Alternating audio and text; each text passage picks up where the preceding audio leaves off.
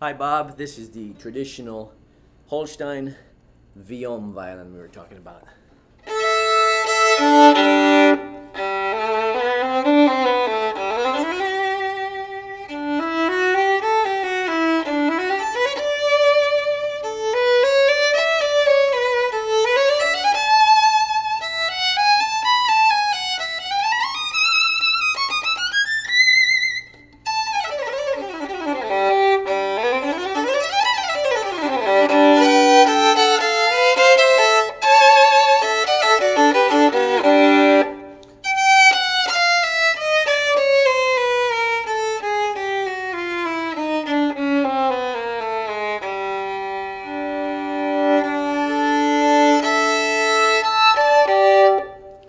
let me know what you think.